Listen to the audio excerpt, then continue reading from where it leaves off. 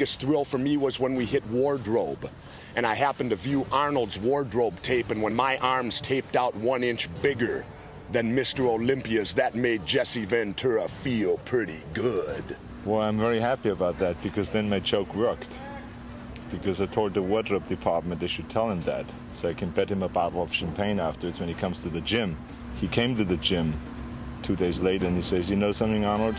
We should measure our arms. Who has bigger arms? I said, Of course we should. I said, Let's bet a bottle of champagne. He says, Of course we should. And then we measured it and my arm was three inches bigger than his. What the fuck? And he lost a bottle of champagne. So, I mean, you know, the psycho trick trips, uh, they work on everybody, on bodybuilders and also on wrestlers. It was good.